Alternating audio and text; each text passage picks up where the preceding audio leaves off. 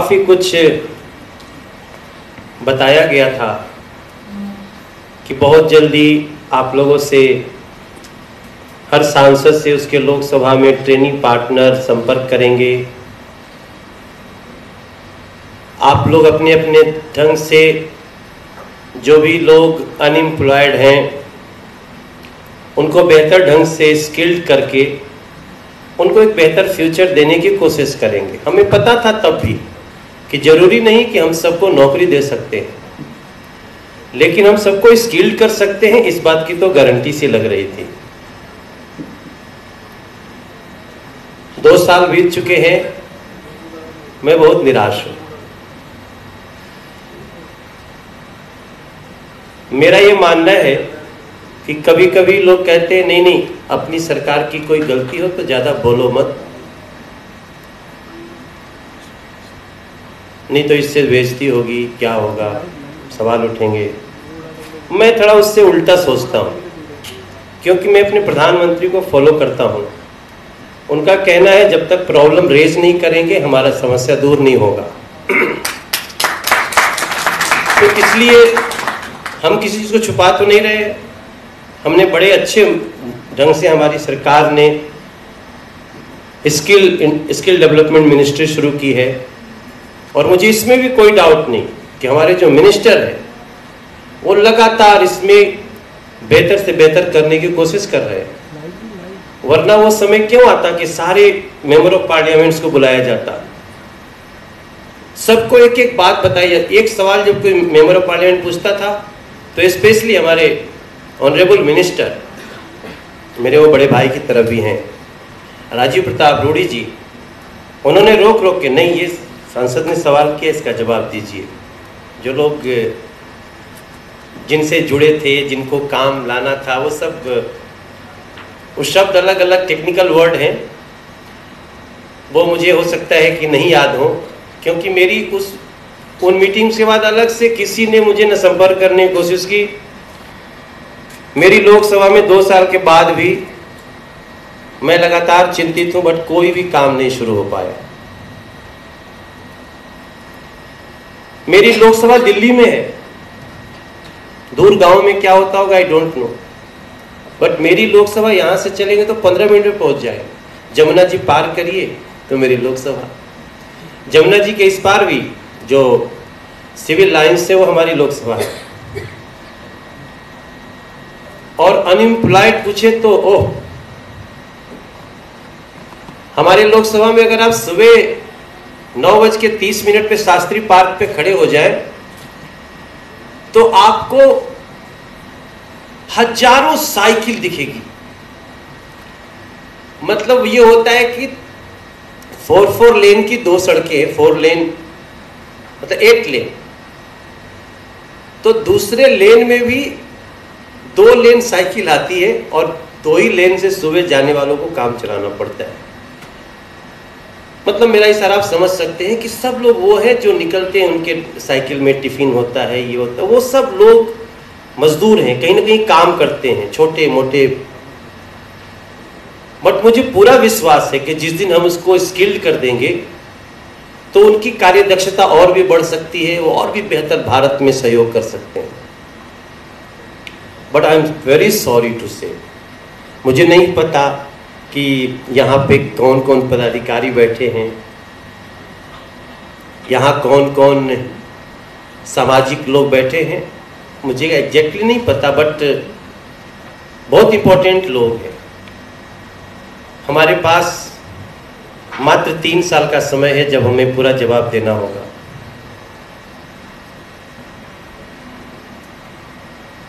तो ये तो एक बात हुई।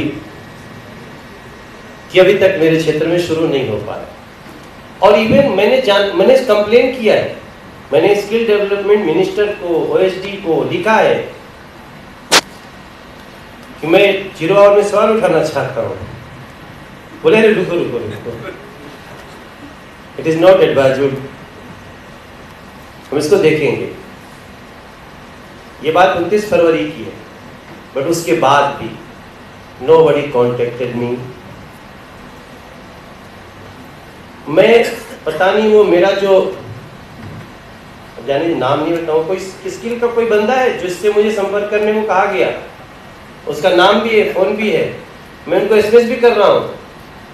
बट दैट पर्सन वो मेरे जो डियर फ्रेंड हैं, अभी तक वो 159 नॉर्थ एवेन्यू का रास्ता देखे। न तो मुझसे मिलने की कोशिश किए। जबकि मैं एवरी डे मैंने ऑफ़िस में हमारा जो मेंबर ऑफ़ पार्लियामेंट का ऑफ़िस है, जो मेरा घर का ऑफ़िस है, मैंने एक टेबल बना रखा है कि जो लोग नौकरी के लिए आते हैं, उनसे पूछो वो क्या करना चाहते हैं। हम उनको ट्रेन करेंगे, क्योंकि स्किल डेवलपमेंट स्किल डेवलपमेंट जो आइडिया है, कमाल है। मुझे लगता है कि देश में जिस भी सरकार ने इसको सोचा, मैं उसका हिस्सा हूँ तो मैं अपनी पीठ थपथपा सकता हूँ कि ऐसा सोचा। लेकिन मुझे नहीं पता कि और भी एम पी ऐसे ही दुखी हैं। बट मुझे तो बहुत पीड़ा है, बहुत पीड़ा है। अब दूसरी टॉपिक पे आते हैं कि मैं शायद आशा करूँगा कि मेरे इतने साफ़ शब्दों में बोलने का जो प्रभाव हो सकता है, दस दिन में आए इंडिया स्पीक के इस और हो सकता है मेरी कोई गलती हो। तो मुझे भी बताया जाए कि नहीं, आपको इस ऑफ़िस में जाना था, आप गए क्यों नहीं? आपको ये काम करना था, आपने किया क्यों नहीं? ये भी मैं जानना चाहता हूँ। मैंने अभी एक, दो साल सरकार के पूरे होने पे हमारे प्रधानमंत्री जी ने कहा कि हम लोग विकास पर्व मनाते हैं, हर हर कॉन्स्टिट्यूंसी में। तो हर जगह मन रहा है। मिनिस्टर्स हमारे आते हैं, वो अपनी बातें बताते हैं। दो दो घंटे का प्रोग्राम होता है। मैंने अपनी कॉन्स्टिट्यूंसी में 20 दिन का विकास पर्व लगाया है। चार जून को शुरू किया। मैंने ऐसे सोचता कि चूँकि देखिए क्या है ना, मैं नया नया राजनीति में हूँ, मैं स्टूडेंट की तरह हूँ। मैं बाहर से समझता था कि बहुत लोग गड़बड़ होते, हम चलेंगे तो ठीक कर देंगे। But I am not unable to do that what I thought मुझे लगता है मैं वो नहीं कर पाया हूँ, जो मैं सोचता था। स्किल के क्षेत्र में, स्किल के क्षेत्र में, और तो बहुत कुछ किया। और मुझे, अभी मुझे दो दिन पहले मैं अपने क्षेत्र के 800 दिव्यांग भाई बहनों का रजिस्ट्रेशन कराया था। उनको हियरिंग एड देना हो, उनको ट्राईसाइकिल देना हो, उनको पैंतीस हज़ार की मोटरसाइकिल देना हो, क्योंकि हमारी सरकार ने जो पैंतीस हज़ार की मोटरसाइकिल उसमें भी पच्चीस हज़ार रुपया ऐड कर रही है। दस हज़ार कोई देना चाहता है तो हम पच्चीस हज़ार दे रहे हैं। तो मुझे मिनिस्ट्री ने आठ करोड़ रुपए सैंक्शन किए। तो ये सारी चीज़ें केवल कार्यकर्ताओं तक ही न हो जाए कि हम एक मिनिस्टर आए और दो ज़िले के जिलाध्यक्ष को बुला लो तो ज़िले में तो ऐसे ही अपने दस हज़ार कार्यकर्ता होते। हैं तो उसमें से चार हज़ार जुट गए तो फिर वो कहे ड्यूटी लगी थी यार, आज मुझे सुनना था, सुन लिया मैंने। बट गली तक कैसे पहुँचे हमारी चीज़ें, जो हमारे प्रधानमंत्री कर रहे हैं, जो हमारी सरकार कर रही है? उसके लिए हमने अपने यहाँ एक आइडिया निकाला कि चलो हम गली क्रिकेट करते हैं। खेल के प्रति लोगों का रुझान होता है। तो मैंने अपने 40 वार्ड की 40 टीमें बनाई, बहुत मुसीबत हुई। लोग इंटरेस्ट नहीं लेते थे, ऐसे क्या है ये सांसद? क्रिकेट क्या कराएगा? मैंने कराया। और करा के मैंने अच्छा माहौल तैयार किया। फिर स्थिति ये हुई, कुछ लोग नहीं आए थे तो अब उनचास टीमें खेल रही हैं उसमें। अब उसमें एक दिन बाबुल सुप्रियो जी आए, एक दिन जयंत सिन्हा जी आए, एक दिन D D A V C आए, एक दिन वो सोशल जस्टिस मिनिस्टर आए। अलग अलग अखबारों के प्रमुखों को बुलाता हूँ। और एक जगह मैंने टेबल भी लगाए। इनको बताओ, मुद्रा योजना क्या होती है? इनको लोगों रोज स्किल ट्रेनिंग क्या होती? है हालाँकि बताओ, वहाँ भी रहा हूँ कि स्किल ट्रेनिंग क्या होती है। बताने में मेरी कोई दिक्कत नहीं है। बट जब आ जाते हैं तो उनको कैसे दूँ ट्रेनिंग दूँ, ये मेरी समस्या है।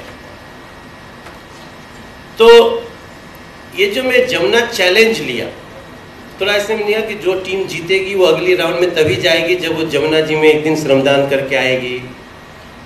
तो बच्चे गए, बहुत अच्छा लगा। फिर उनमें मैं ग्राउंड में बोला कि जिनके घर में आ, गैस कनेक्शन नहीं है वो यहीं लिखवाओ। माँ को अपनी मम्मी को बुलाओ।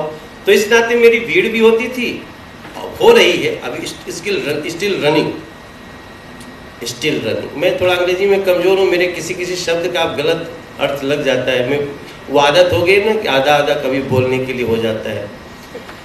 तो मैं कभी कभी गलत शब्द का प्रयोग हो जाता है। तो हिंदी में मैं अपनी बातें ठीक करता हूँ।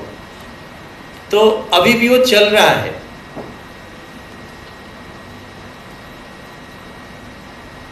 तो गली के लोग, अब जैसे मान लीजिए परसों एक घटना घटी, एक लड़के को किसी ने कह दिया, ये बहुत बड़ा खिलाड़ी है, इसको मत खिलाओ। तो उसको खिलाने के लिए उस वार्ड से 800 लोग आए।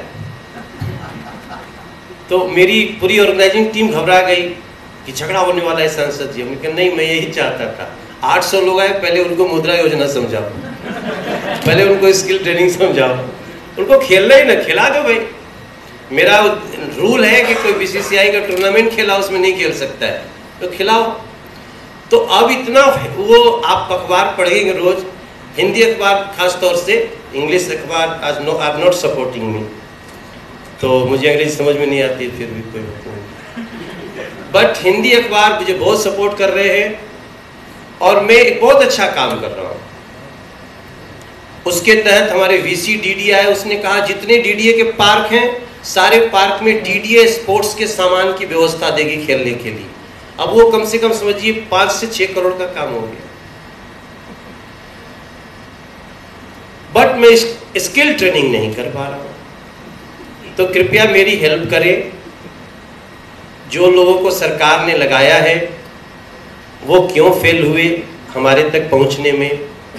मैं ये मान के चलता हूँ कि 542 लोकसभा में पहुँच गए होंगे, केवल मेरे ही में नहीं पहुँचे हैं। मेरे यहाँ उनको पहुँचा दीजिए। और इस बड़ी योजना का, जो न जाने कितने लोगों की ज़िंदगी बदल सकती है, और उसका लाभ भी हमें बहुत मिलेगा। लोग पचास